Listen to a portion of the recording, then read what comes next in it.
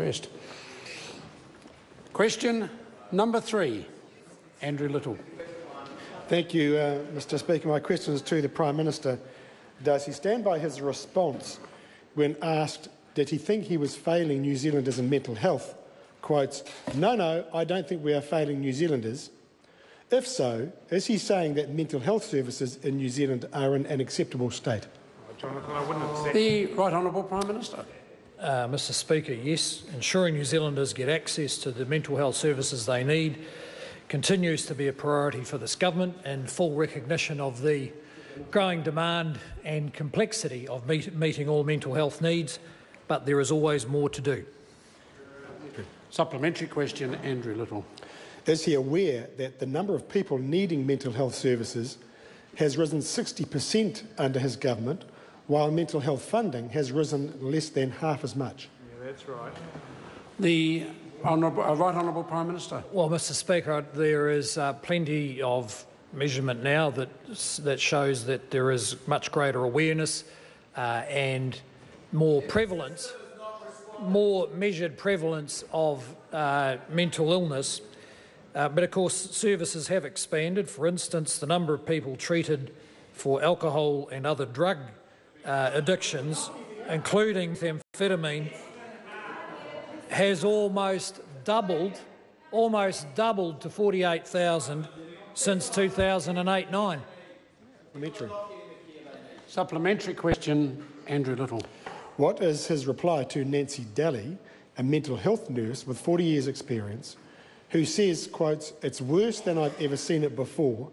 Nurses can work up to 15 hours a day, double shifts on a regular basis because we're so short-staffed and we're short of doctors. The Right Honourable Prime Minister.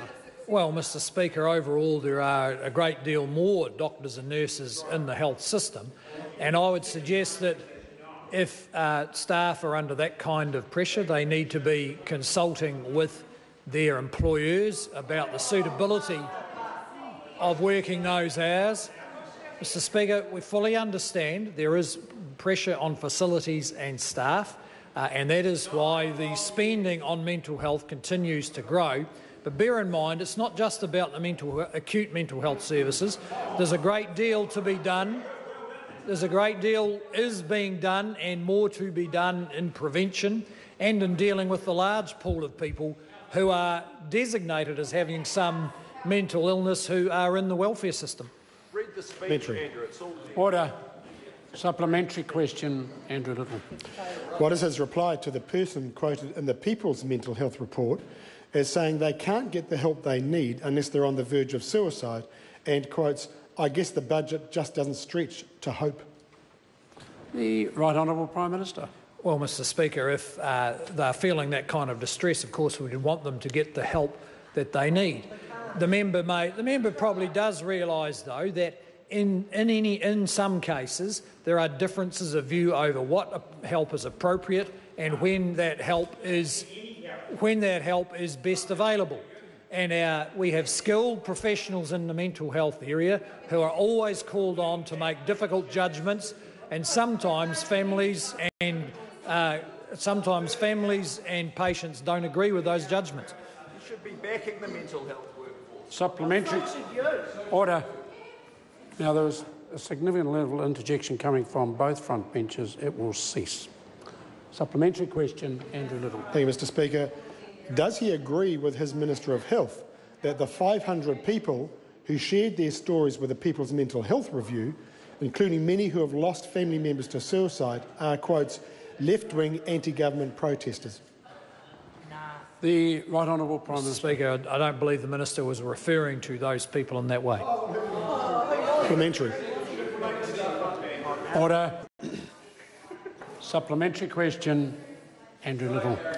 Does he acknowledge that in addition to a lack of funding in mental health, there's also a lack of coordination and access, meaning people don't know which door to knock on when they need help, and too often the police and the justice system end up picking up the pieces?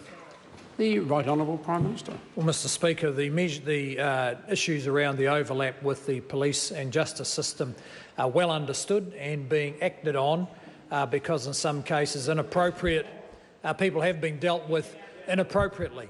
uh, and we're being, but we're being much more creative about them than saying that in the case of the members' policy, uh, because there's, the best thing he can do for Maori who are caught up in the justice system is give them their own prison. Supplementary. Supplementary question, Andrew Little. After nine years, does he really think a five-year quality improvement initiative starting in a couple of months is an acceptable response when we've got doctors like Dr Anne-Marie Cullen saying it can't take five years, things will go wildly wrong? Can't we have some fresh thinking now instead of five years' time?